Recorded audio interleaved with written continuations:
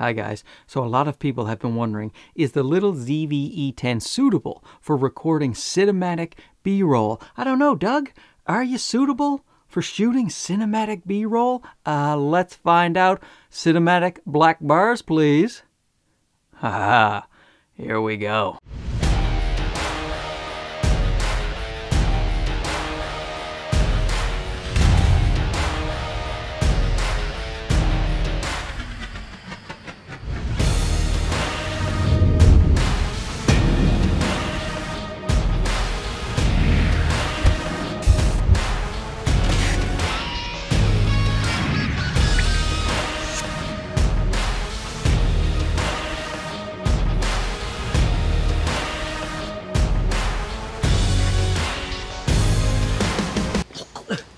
Well, I think that B-roll just graduated to A-roll. Good job, Doug. For those of you wondering uh, how I shot that, it was all in the HLG picture profile with the uh, little Sigma 16 mil 1.4. I shot it in 120 frames per second, and then I, of course, slowed it down and did the speed ramping and all that stuff in post. And every single shot you saw in the video was from the ZV-E10 and the Sigma lens, except of course for the first couple of seconds, those tree shots, they were drone shots that were actually provided by my friend over at uh, They Make It Like That. Go check out his channel, he graffitis trains. He also has a drone, and he sent me some tree footage, and I put it in there. Thanks, Tim. But suffice it to say, I really enjoyed taking my little Dougie out to the woods and shooting it. It was super easy with the flip screen, even though I was by myself filming the whole thing with the great autofocus on this bad boy. It was a joy to use. And if you're wondering about the cool tune I used in the clip, that actually came from my friends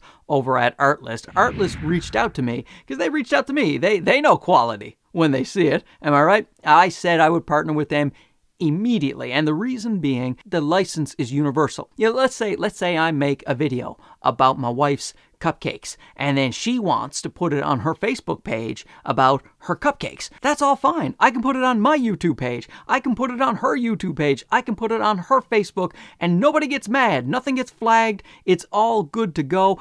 Podcasts, commercial work, you shoot something for Nike, it's fine. And a lot of the other services, I didn't know this at first, but a lot of the other services don't do that. So if you're like me and you need a music subscription service, go with Artlist. I have links in the description, and of course, I will get a commission on those links if you want to use them. You don't have to use my links. I just really think Artlist are doing a good job. Oh, but if you do use my links, you will get two free months of Artlist. And I asked them, why would you do that? And they said, because you're so gorgeous. And I had to agree. They also have another service called ArtGrid, which is royalty free stock footage. So maybe you don't have to hit up your buddy Tim for drone footage anymore. Thanks, Artlist. You're good people. Was it weird that I kept talking about my wife's cupcakes?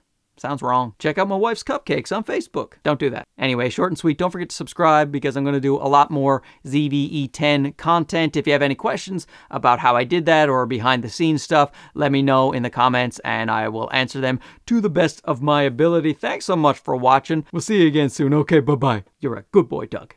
Good boy.